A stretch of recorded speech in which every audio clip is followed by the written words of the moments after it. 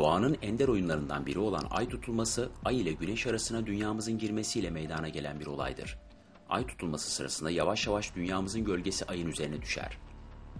Güneş tutulmasının aksine ay tutulması oldukça uzun sürebilen ve bulutsuz gecelerde çıplak gözle bile gözlemlenebilen bir olaydır.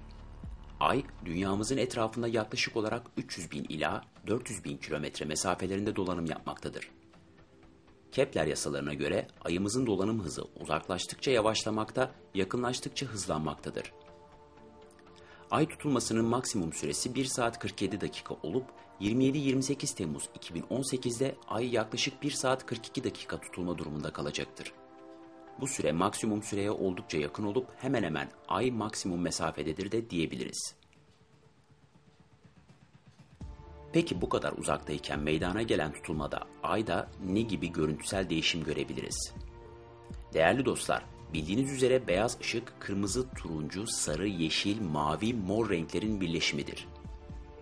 Beyaz ışığın önüne bir prizma ya da mercek koyarsanız ya da evlerinizde kullanmadığınız CD, DVD gibi parlak cisimleri uygun açılarda tutarsanız bu renklerin tamamını görebilirsiniz.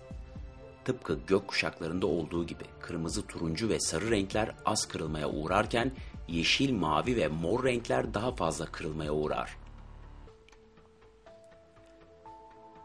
Düşünün bir kere, ay maksimum uzaklıkta. O halde atmosferimize ulaşan güneş ışınlarından az kırılan kırmızı, turuncu ve sarı renkler ancak ayın yüzeyine ulaşacak ve tam tutulma sırasında ayın rengi turuncu kırmızı arası bir renkte gözükecektir. Bu olaya kırmızı kanlı ay tutulması adı verilir. Ayın çok yakın olduğu durumlarda tutulma meydana gelseydi bu sefer çok kırılan yeşil, mavi ve mor renkler ayın yüzeyine ulaşacaktı. Bu durumda ise mavi ay tutulması meydana gelecekti. Şimdi siz değerli üyelerimizi Ay ile ilgili astronomi çalışma grubumuzun çekmiş olduğu timelapse görüntüleriyle baş başa bırakıyorum. Keyifli seyirler dilerim.